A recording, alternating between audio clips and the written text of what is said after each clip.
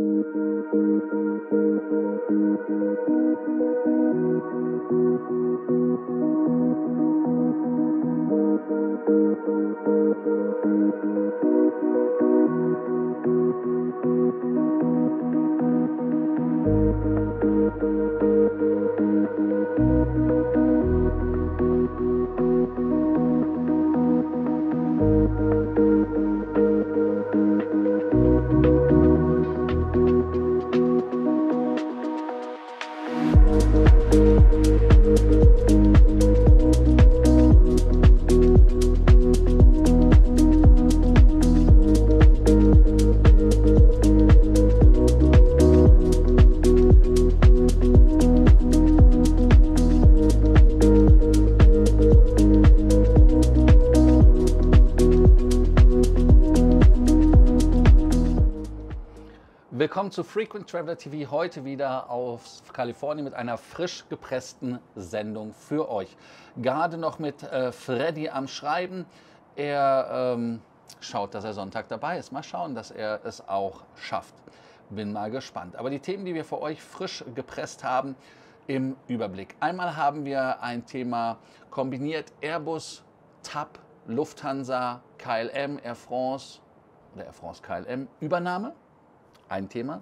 Zweites Thema, Lufthansa-Übernahme äh, bei der ITA. Da gibt es etwas Pipi in den Augen.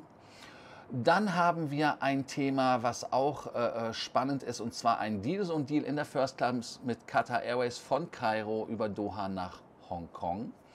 Und wir haben, und da sollte man sich ganz knallhart festhalten, nochmal eine Erinnerung für alle Arcor-Freunde für den Deal und äh, ein Deal, der bei Cathay Pacific quasi kein Deal mehr ist, weil sich die Einlösewerte ändern zum nächsten Monat. Deshalb ist Handlungsbedarf für alle angesagt, die ein Konto bei der Kesse haben und Meilenpunkte und Status dort sammeln. Habe ich ein Thema vergessen? Ryanair. Die wollen jetzt doch in Deutschland wachsen. Jetzt seid ihr wieder dran. Denkt dran, den Kanal zu abonnieren, die Glocke anzumachen, ein Like dazulassen, aber auch ganz wichtig, unten zu kommentieren, damit ich am Ende der Sendung eure Fragen beantworten kann. Auch haben wir heute natürlich als Thema für euch wie immer, ja, was haben wir denn für euch wie immer? Gute Ratschläge. Genau so ist das.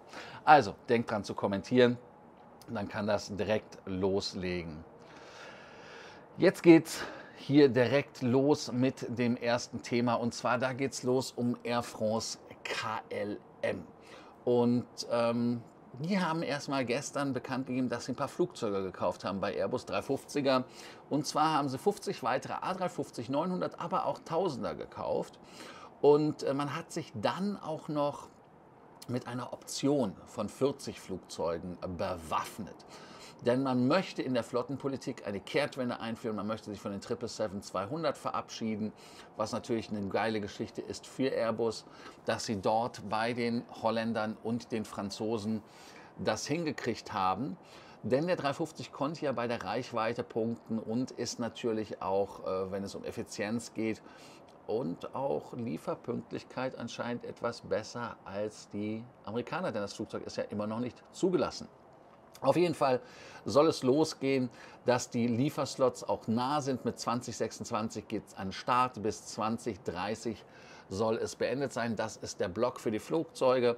Und man möchte auch ähm, sich wappnen mit 40 Optionen, wenn man die TAP übernimmt. Das ist ein Signal nach Portugal. Und man zeigt den Portugiesen damit Folgendes und sagt, hey, wenn wir uns im Bieterrennen gegen Hansens durchsetzen, und auch gegen die IHG, äh, dann ähm, brauchen wir die Flugzeuge und wir haben die natürlich für euch schon geblockt. Das heißt also kein Problem. TAP wird ein Drehkreuz weiter in Lissabon haben. Und ähm, die Flugzeuge sind natürlich dabei, dann, wenn man die Investitionen reinzieht, aber auch wichtig zu konsolidieren. Denn die Flugzeuge, die bei der TAP sind, sind alle etwas hungriger im Verbrauch, als es die 350er sind. Da bin ich mal gespannt. Ähm, ich denke mal, ähm, dass das natürlich alles ein Pokerspiel ist und man sich da dann hinsetzt und sagt, hey, ähm, das ist unsere Position, die wollen wir verbessern. heißt aber nicht, dass EIG oder IHG, IHG und Hansens nicht auch 350er beibringen können. Also da muss man jetzt ehrlicherweise sagen, cleverer Schachzug von den ähm, niederländischen Franzosen oder französischen Niederländern, dass man das gemacht hat. Aber man sollte natürlich auch schauen, ähm, dass die anderen Partner nicht schlecht sind. Für uns eventuell ist eine Übernahme außerhalb der Lufthansa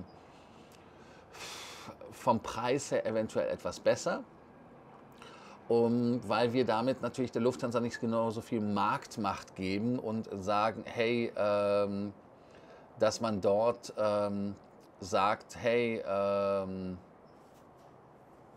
wir haben zu viel hohe Preise, weil die Lufthansa da wirklich zu viele Länder hat. Und ähm, auf der anderen Seite ist ja nicht so, dass IHG oder so auch nicht viel weniger hat. Aber ich glaube, für die KLM Air France wäre es vielleicht gut, weil man damit die dann nochmal auf eine höhere Ebene schicken kann. Wobei ich jetzt persönlich natürlich nicht sagen kann, ähm, inwieweit man dort ähm, ja, mit der TAP wirklich etwas reißen kann. Ich denke mal, dass die TAP selber ähm, nicht unbedingt äh, aus, ich sage jetzt mal, weil sie so einen riesen Markt haben, das Problem haben. Also ihr wisst, worauf ich hin will. Aber wie sagt Freddy immer so schön, wer jetzt keine Knete macht, ist es selber schuld. Ja, damit haben wir dann das erste Thema wieder für euch abgearbeitet, den TAP-Verkauf und ob die KLM Air France damit die Nase vorn hat. Im ersten Moment vielleicht, weil man committet, aber schauen wir uns dann weiter an. Dann gibt es eine Übernahme, die ja eher schon in Tüten ist. Das ist Lufthansa ITA, aber wenn man sich das Ganze genau anguckt, dann sind die auch nicht so in der Tüte, weil ähm, da ist ja bei der EU immer noch nichts passiert. Wir erinnern uns ja daran, dass es bei der EU ein äh, Problem gibt, ein Genehmigungsstau, ähm, zumindest in den Vorgesprächen. Deshalb hat man offiziell noch keine, äh, keinen, wie heißt das so schön, äh, keinen Antrag gestellt, so ist es richtig. Und jetzt gibt es auch noch ein anderes Problem. Und zwar grundsätzlich, ist die Alitalia die Vorgängerin der ITA? Oder andersrum, ist die ITA Nachfolger der Alitalia? Ähm, juristisch sagte die EU schon in 2021, ähm, ich selber kann euch sagen, ja, man muss halt aufpassen, dass man juristisch nicht der Nachfolger ist, aber da gibt es ja Triffe, Kniffe und Tricks, die man anwenden kann. Und äh, das hat man bei der Lufthansa gemacht. Aber in Italien sehen das Richter anscheinend, wenn es um Arbeitsrecht geht, etwas anders. Und zwar da ist es so, dass die Gerichte festgestellt haben, ich glaube jetzt das letzte war es in Rom, davor auch in Mailand im September ähm, und in Rom auch schon mal im Juni, äh, nee, Quatsch, in Rom, einmal Arbeitsgericht in Rom im Juni, eins in Mailand im September und nochmal eins in Rom in der vergangenen Woche. So ist es jetzt konkret richtig, also zweimal Rom. Die haben gesagt, nö, die ITA ist Nachfolgerin der Alitalia, wenn es um Arbeitsrecht geht. Heißt also, die haben ein Problem. Und jetzt hat die Lufthansa aber in ihrem Vertrag Folgendes stehen. Man hat sich einräumen lassen, vom Vertrag zurückzutreten, wenn diese Art von Fällen zu einem Problem werden oder sich häufen. Damit sieht man bei Madame Meloni, das ist die Veranstaltungsleiterin in Italien, dass das irgendwie ein, eine negative Auswirkung auf öffentliche Finanzen hat. So, das ist die Formulierung. Und damit kann man dann als Regierung eine Art Dekret erlassen. Und das heißt im Italienischen, äh, ich habe mir das auch irgendwo angemarkert, äh, da gibt es einen richtig geilen, äh, ähm, geilen Begriff für, wo haben wir es denn? Ähm, wo hatten die das denn jetzt geschrieben? Ein Norma interpretativa. Wer von euch Latein hatte, weiß natürlich, was das auf Deutsch heißt. Und zwar eine Auslegungsverordnung. Im Prinzip nichts anderes, als dass man sagt, hey, egal wie du das verstehst, wir als Regierung sind der Meinung, weil es die Staatsräson erfordert, so ist das zu lesen. Egal was du denkst. Und äh, das ist natürlich schwierig für jemanden, der an die Demokratie glaubt und an, an, an, an ähm, eigentlich an Gerechtigkeit, äh, wenn man das so macht, denn dafür sind ja eigentlich die Gerichte da. Und wir haben ja auch aus besagtem Grund eine Trennung zwischen Judikative, Exekutive und Legislative. So, also die Legislative, die Regierung, kann nicht der Judikative in meinen Augen erklären, hey, du bist zu doof, das Papier macht das. Ähm, und damit können wir auch mal direkt die Frage beantworten, die ja die Frage des Tages ist, weil ich halte sie für eine sehr wichtige Frage. Und zwar ist die Alitalia der ITA-Vorgänger? Rein formal juristisch wahrscheinlich nicht. Also da haben die Europäer, die ja genau drauf gucken, ähm, gesagt, nö. Weil das ist ja so, wenn man aus einer Firma nur einen Teil rauskauft, dann ist man nicht Nachfolger. Deshalb zum Beispiel, wenn man die Ware rausnimmt oder wenn man die Möbel rausnimmt, den Mietvertrag verlängert. Im Regelfall, wenn man eine der Sachen oder zwei Sachen dort nicht macht, dann ist man nicht der Nachfolger. Und äh, die Gerichte sehen das etwas anders.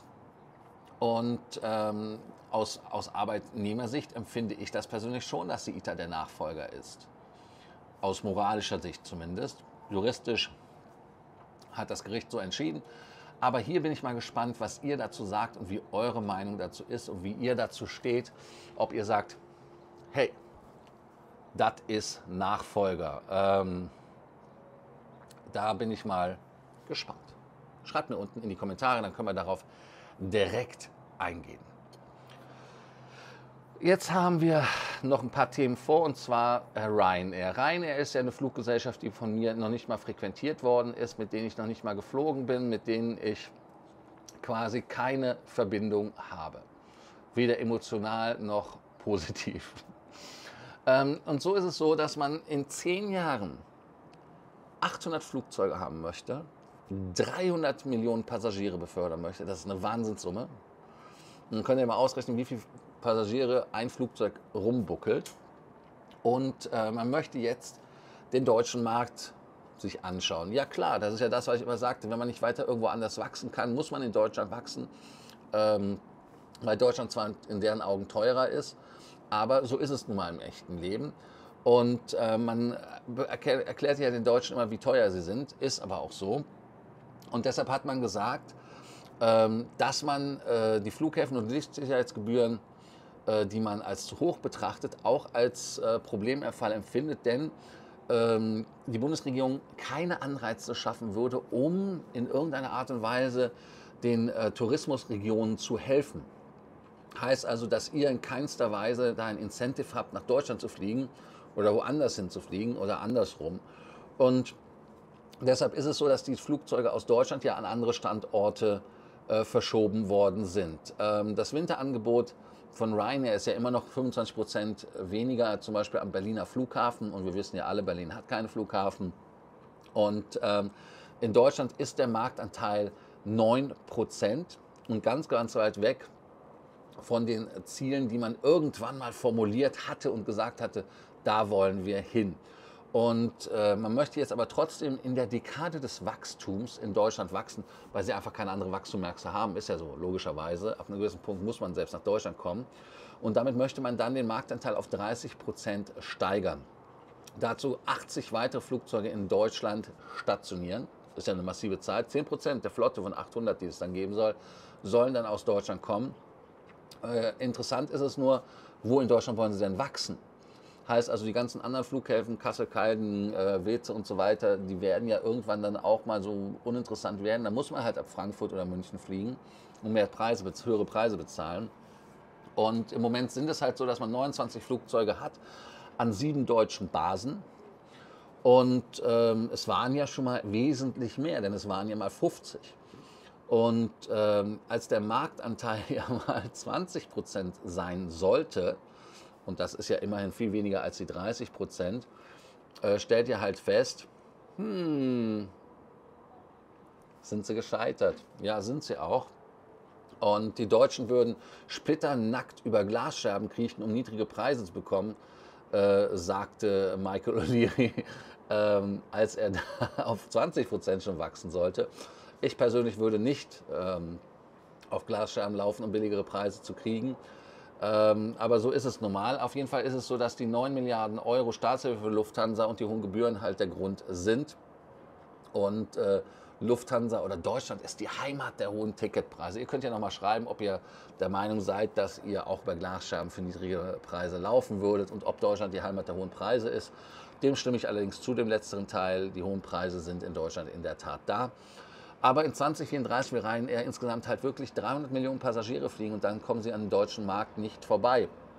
Und äh, in diesem Jahr rechnet man alleine mit 169 Millionen. Also damit ihr mal in Relation setzen könnt, 169 zu 300 Millionen. Also man will fast verdoppeln. Ja, ich weiß es nicht 50 Prozent, okay, geschenkt. Und äh, die Flotte soll dann 800 Flugzeuge beinhalten, während die aktuelle Flugzeugnummer äh, bei 537 ist sind 411 Boeing 737, 898 Boeing MAX 200, also quasi das, was die ähm, MAX 9 ist. Die nennen die ja anders. Und dann gibt es 28 Airbusse. Und diese äh, 28 Airbusse sind ja noch von der Lauda. Äh, Freddy kennt die Bude wahrscheinlich persönlich.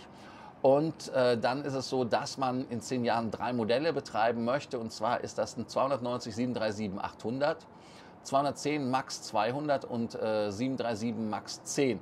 Also die 200er sind die 9er, glaube ich, zumindest, ja und 300 von dem Max 10. Also das heißt, dass man 510 äh, 737er haben möchte aus der neuen Max-Serie und 290 aus der CEO-Serie. Nee, heißt das CEO? Äh, NG, Next Generation. So ist es. Da bin ich mal gespannt, was ihr dazu zu sagen habt. Wir haben jetzt noch ein Thema für alle, die bei Castle Pacific äh, sammeln. Und zwar bei Castle Pacific ist es ja so, ähm, die haben uns ja auch enttäuscht, wenn wir ehrlich sind. Und zwar ist es so, die haben eine Devaluierung gehabt und ähm, die Premium-Tickets kosten 20 bis 30 Prozent mehr ab 1. Oktober. Und ähm, man nennt das bei Castle Pacific ja auch nicht irgendwie so einen, ähm, eine Entwertung, sondern man nennt das einfach ein Holistic Review, also quasi so eine ganzheitliche Betrachtung und man möchte mehr Value schaffen. Ähm, das ist halt so, als wenn man sagen möchte, nein, du möchtest doch auch heute ähm, das und das haben und dabei wusstest du es noch gar nicht. Ist im Prinzip so, du möchtest doch auf Kanalmitglied werden und 100 Euro zahlen. Du willst es. Also stell dich nicht so an. Ist natürlich nicht so, ist ja Quatsch. Ich könnte das ja auch holistisch nennen und wie auch immer. Aber es ist so, ähm, es ist halt wirklich so, dass das Programm damit devaluiert wird und wer noch Punkte da hat, soll äh, gucken, ähm, dass er die Punkte dort sammelt. Im Gegensatz zu anderen OneWorld-Mitgliedschaften, wie zum Beispiel bei British Airways Executive Club, was über Nacht passiert, haben die zumindest drei Monate Vorlauf gegeben. Deshalb empfehle ich euch, das Ganze jetzt auch zu machen und dann wirklich die ähm, Tickets zu buchen, damit ihr da nicht in diese Abwärtsspirale kommt. Und ähm, Stichtag ist wirklich der 1. Oktober, deshalb vorher buchen, guckt es euch jetzt noch an. Ihr habt noch drei x Tage Zeit, also ein bisschen noch vom heutigen Tag. Und ähm, da solltet ihr einfach mal gucken. Und ähm, ich glaube wirklich, dass man ähm, dort auch dann sieht, dass es vielleicht doch mehr Sinn macht, nicht mehr bei den Flugprogrammen selber zu buchen, sondern halt mit American Express Rewards, zum Beispiel in den USA mit den Karten, mehr Value zu schaffen. Also, darauf erstmal noch eine Cola aus Mexiko. Naja, ähm, ihr könnt ja mal schauen, was ihr davon haltet von dem neuen Programm und äh, denkt dran, lasst euch nicht verarschen. Wir haben dann noch was für die Freunde bei Arcor, damit ihr nicht denkt, dass ich bei Arcor die Augen zumache. Und zwar ist es so, Arcor hat auch wieder eine Promotion laufen. Diese Promotion ist äh, 6000 Bonuspunkte für drei Aufenthalte vom 10. Oktober bis zum ähm, 20. Dezember gebucht werden muss, ähm, quasi bis zum 17. Oktober die Übernachtung. Und dann ist es so, für den ersten Aufenthalt bekommt ihr 500 Punkte, 2500 Punkte für den zweiten Aufenthalt, für den dritten Aufenthalt sind es nochmal 3000. Also wenn man alles in allem äh, zusammenrechnet, wären das maximal 6000 Punkte. Und ähm, Diese Promotion ist natürlich zusätzlich zu diesen Base Points, die ihr bei denen kriegt. Heißt also, ihr bekommt damit dann, dann natürlich nochmal mehr Punkte je nach Status. Heißt also Diamond, Platin, Gold, Silber oder Classic, je nachdem, was ihr seid. Ähm, ich sage mal so, es ist jetzt eine überschaubare ähm, Promotion, aber wer eh bei Arco übernachtet, sollte sich da nicht wirklich ähm, für strecken. Aber wenn man die Promotion mitnehmen kann, warum nicht? Ganz wichtig. Und ihr müsst euch registrieren, ganz wichtig, registrieren äh, bis zum 17. Oktober. Jetzt habe ich für alle Freunde aus dem äh, Schweizer äh, Gebilde, also Eidgenossen oder auch nur Leute, die dort leben oder sammeln, ähm, da habe ich noch mal eine interessante Promotion und zwar sind das Coop Superpunkte und da möchte ich euch das Bild auch äh, reingeben. Hier ist es, er lädt gerade und dann geben wir euch das auf die Augen, dann seht ihr das auch. Mehr Meilen für ihre Superpunkte 33 Prozent. Äh, vom Montag, dem 25.09. bis Sonntag, dem 1.10.2023. Es können maximal 90.000 Superpunkte pro Supercard-Nummer in Meilen eingetauscht werden. Gleich 60.000 Meilen. Jetzt gucken wir mal, was passiert. Ich habe es nicht ausprobiert. Ich selber habe kein Konto, aber hier seht ihr, dass das äh, teuflische 6.666 Meilen für 10.000 Superpunkte gibt, was 33 Prozent mehr sind. Oder wenn ihr 5.000, dann sind das 7.500 Superpunkte. Ähm, spannende Geschichte. Damit könnt ihr dann natürlich nochmal eure Punkte-Ratio verbessern. Man kann jetzt natürlich sagen, hey, es gibt wesentlich bessere Möglichkeiten, um da Punkte zu bekommen, geschenkt. Aber wenn man bei Coop also nicht Koop sagen, ne? das ist ja das, wie die äh, Eidgenossen uns Bundesdeutsche immer wieder rauskriegen, äh, wo wir her sind. Und auch Migro heißt Migro, nicht Migros, wie es am Flughafen in Zürich heißt. Mit dem S, das wird nicht ausgesprochen. Migro und Coop. Naja, auf jeden Fall, wenn ihr die Superpunkte habt, nutzt es einfach und transferiert jetzt, wenn ihr transferieren wollt, auch wenn es mal bessere Angebote gab.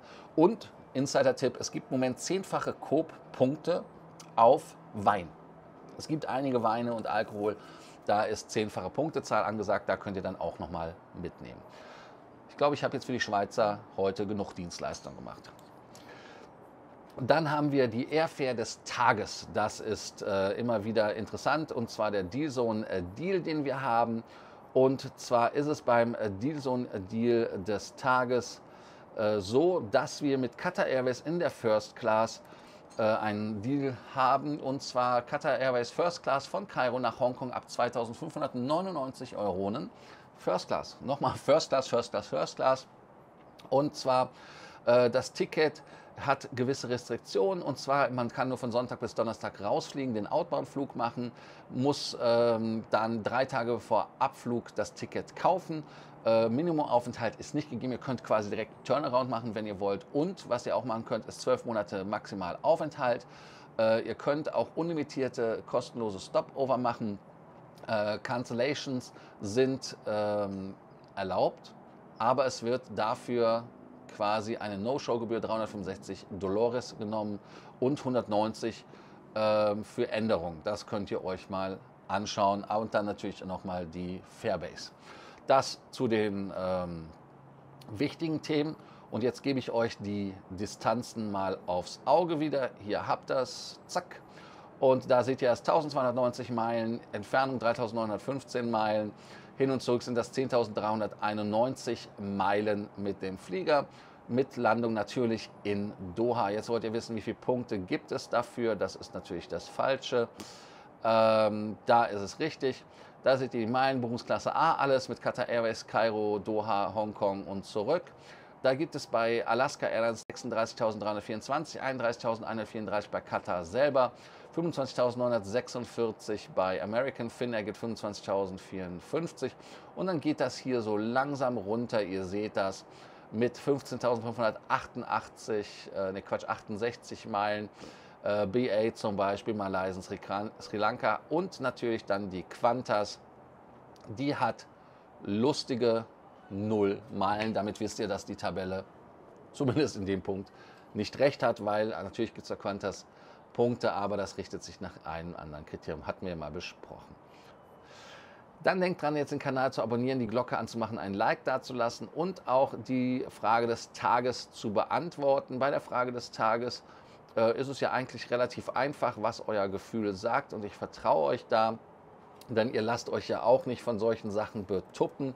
Wie ist eure Meinung zum Thema ITA? Ist das eine äh, Nachfolgerin der Alitalia? Ja oder nein? Sind das zwei verschiedene Firmen oder ist das moralisch? Also ihr könnt das hinschreiben, wie ihr das wollt und wie ihr das empfindet.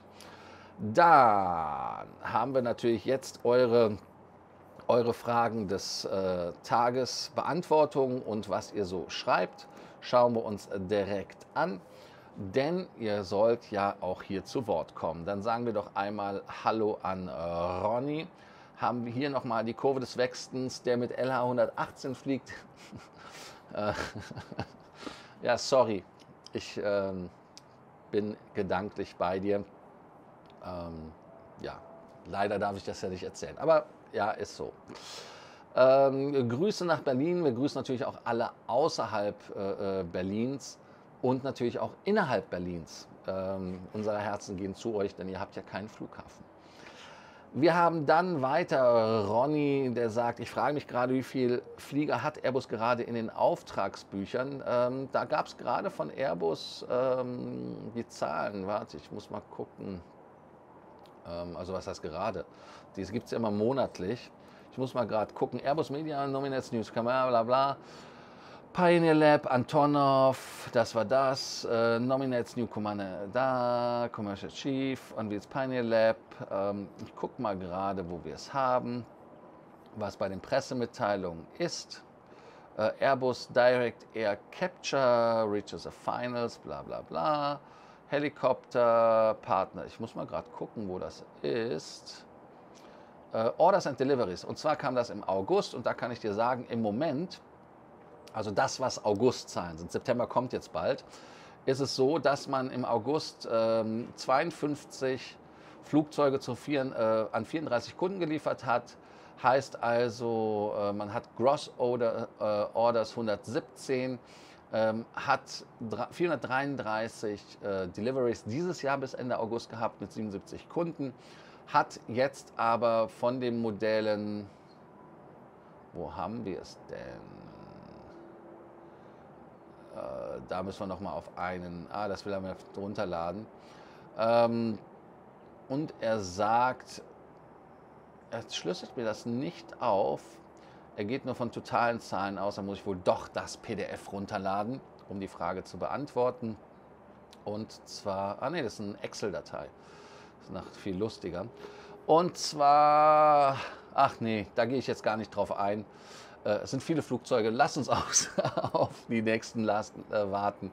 Dann mache ich das für euch äh, ab für September. Damit haben wir, ist ja bald vorbei. Dann, ähm, hallo Olcay, Grüße in die Lounge, äh, Grüße nach Düsseldorf, bald aus den USA. Ja, vielleicht sitzt du auch bald neben mir, wenn du die Sendung mitmachst. Ne? Liegt nur an dir. Wir müssen uns nur treffen. Ähm, hallo Jörg, Grüße. Ähm, ja, Gott brauchst du nicht zu mir zu sagen. Lars reicht vollkommen. Ähm, Ronny, wenn du LH doof läuft, keine ITA, keine TAP, nur Kosten, dann bleibt nur noch die SAS zum Kaufen. Oder die LOT, wobei die LOT einfach sagt, wenn sie den Flughafen haben, wir brauchen die Hansa nicht mehr. Ne? Ähm, dann wenn ich darauf eine zutreffende Antwort hätte, säße ich im Bundestag und wäre anschließend als Lobbyist für ein Luftfahrtunternehmen tätig. Hier geht es ja auch eher um Gefühle und auch Einschätzung. Es muss ja nicht juristisch äh, begründet sein. Grüße nach Düsseldorf an Venture X. Deutschland ähm, ist das Land der hohen Ticketpreise. Auch meine Meinung zum Glück ähm, geht es mir noch so gut, dass ich rein noch vermeiden kann. Ja, da gratuliere ich, da sage ich Kopf hoch. Äh, Cola aus Mexiko, da mag einer Tequila. Nee, Cola aus Mexiko hat einfach, das ist mit äh, Sugarcane, also mit echtem Zucker und die Cola schmeckt wesentlich besser, kann ich dir nur sagen, als diese mit Mais-Sirup. Alles süße Plörre. Die schmeckt lecker. So, könnt ihr mal nächstes Jahr in Los Angeles den Stammtisch machen, da könnt ihr mal kommen, da können wir mal Probe verkosten. Ähm, Deshalb. Aber es hat auch lustigerweise dann auch hier Nutrition Facts in amerikanisch. äh, nur so als Randbemerkung. Wer alles lesen möchte, kann ja auf Pause drücken. So, dann geht es weiter. Äh, Grüße nach Darmstadt. Kommt rein, der denn wirklich nach dir um die Preise zurück? Und wenn ja, auf welchen parallelen Strecken einer großen deutschen Airline fliegen denn auch? Die fliegen eher Dorf A nach Dorf. Ja, also wie gesagt, die sind ja ab Frankfurt auch geflogen und Terminal 3 in Frankfurt soll ja eigentlich das äh, Billigheimer Airport Terminal werden in Frankfurt. Ich bin mal gespannt. Ob es 2023 viel Zeit und 30 Prozent, äh, wie will er die schaffen, wenn er die 20 nicht geschafft hat, äh, da bin ich mal gespannt. Hm. Naja, egal wie, ähm, es wird mit Lufthansa einen Preiskrieg geben wahrscheinlich, weil die Lufthansa machen das ja dann immer. So. Ähm, natürlich ist das cool. Ich bin ab morgen wieder in der Wüste in ähm, Palm Springs, Indian Wells, um ganz genau zu sein. Werde dort im Hyatt in meiner Penthouse Villa wohnen. Penthouse Suite ist das. Äh, klingt besser als es ist. Ähm, aber es ist jetzt auch Leiden auf hohem Niveau. Ist auch umgebaut worden. Alles cool. Ich bin mal gespannt. Ähm, ja, dann um äh, 7.10 Uhr.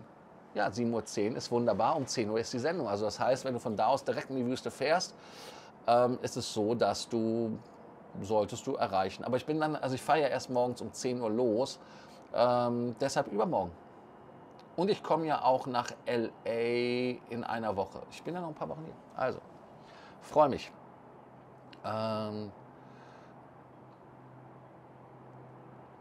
äh, die Gesamtsumme, ähm, ich zeige dir das mal. Hier, schauen Sie mal.